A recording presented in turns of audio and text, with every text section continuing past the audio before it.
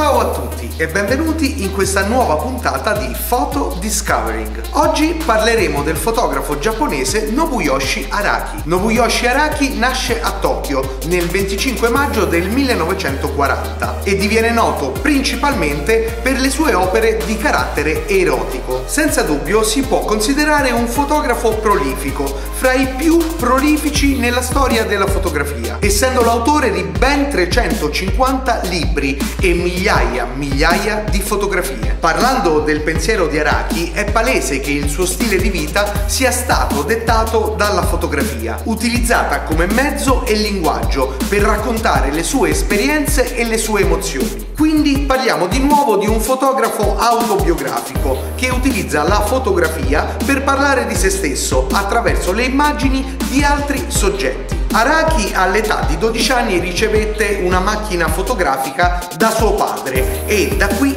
inizia il suo percorso. Nel 1963 si laureò in fotografia e cinema presso il Dipartimento di Ingegneria all'Università di Shiba. In seguito lavorò per 9 anni nel campo della fotografia commerciale con la società di pubblicità Dentsu. Durante questo periodo riuscì a portare avanti anche i suoi progetti personali. Nel 1964 ricevette il premio Taio Persacin, una serie di fotografie realizzate in bianco e nero con i bambini del centro di Tokyo, il cui titolo deriva dal nomignolo di una di queste bambine. Queste opere vennero anche esposte nel 1965 durante la sua prima mostra. Nel 1970 creò il suo primo album fotografico Xerox che venne prodotto in edizione limitata. Lo inviò ad alcuni dei suoi amici ma anche a critici d'arte e a tante altre persone scelte a caso dalla rubrica telefonica. Nel 1971 pubblicò una raccolta di stampe private, Sentimental Journey, nelle quali riportava come se fosse un diario la sua vita privata, in particolare il suo matrimonio e la luna di miele con la sposa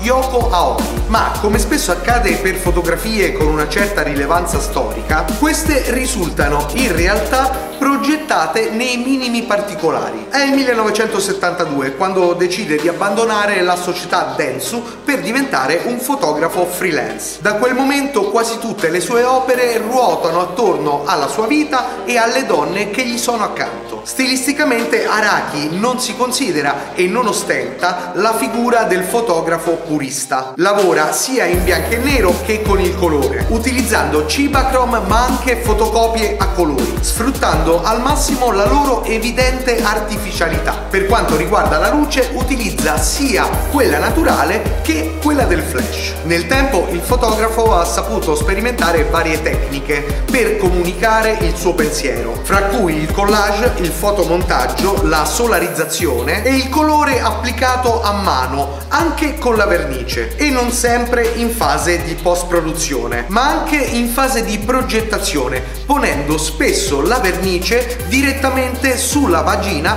della sua modella. Sempre parlando della sua continua ricerca e sperimentazione, anche i negativi venivano trattati e volutamente danneggiati, provocando così graffi sull'emulsione delle stampe finite. Per produrre la sua fotografia Araki utilizza spesso una Pentax 6x7, ma fotografa spesso anche facendo uso di istantanee e le location non trovano una sua preferenza definita, andando dallo studio a ritratti e scene in strada, nature morte e pornografia hardcore. Fotografa senza alcuna remora i soggetti più disparati, dal cibo per gatti ai corpi femminili. Ci sono molti elementi paradossali nella sua fotografia e nessunissima pretesa di verità fotografica. Appare lui stesso molto spesso come soggetto in scene di sesso. Ricordate Terry Richardson? Una delle sue immagini più evocative e più conosciute è un autoritratto dove indossa un mantello color rosa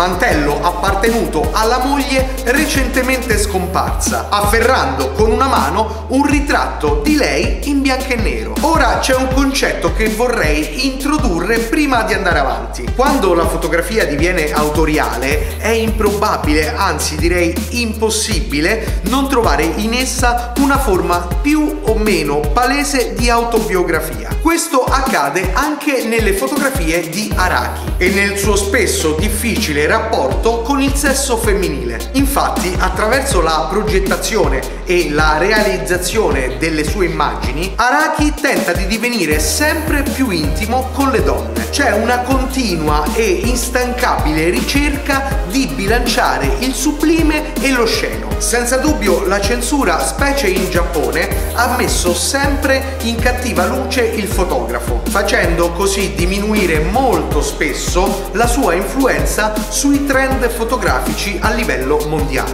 In alcune delle sue serie troviamo immagini di donne imbavagliate e legate che indossano l'abito tradizionale del kimono. Senza dubbio la sua fotografia trova ispirazione nella storia e nella tradizione dell'arte erotica giapponese, soprattutto nello shunga, il dipinto erotico del periodo Edo. Possiamo quindi affermare che Nobuyoshi Araki sia un precursore ma anche un attento discepolo e che la sua fotografia sia un mix tra il verismo e la fotografia pittoriale, intesa come bagaglio culturale ma non tecnico. Altri soggetti preferiti sono stati i fiori, presenti in molti dei suoi progetti degli anni 90. Questi vengono spesso fusi in dei concetti che vanno dal sesso alla morte, entrando molto spesso nel vero senso della parola nel concetto di organo riproduttivo che entra all'interno di un altro organo riproduttivo, quello femminile. Araki ha saputo descrivere con un ossessivo interesse la città di Tokyo, specie nelle aree urbane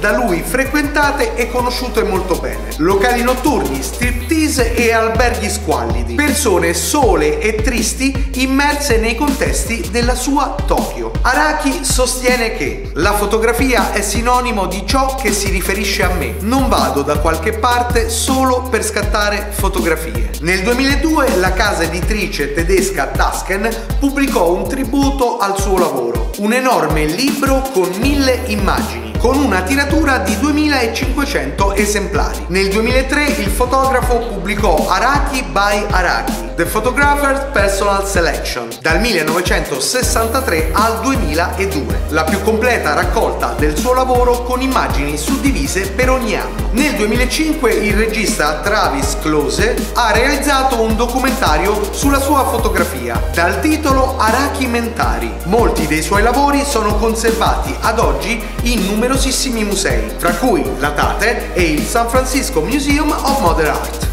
Siamo arrivati alla fine di questa puntata. Conoscevate il fotografo Nobuyoshi Araki? Approfondirete il suo pensiero fotografico? Volete proporre altri fotografi di cui parlare? Scrivetelo qua sotto con un commento al video. Se questa puntata di Photo Discovering vi è piaciuta, mettete un like e condividete. Aiutate a farci conoscere. Grazie e alla prossima puntata di Photo Discovering.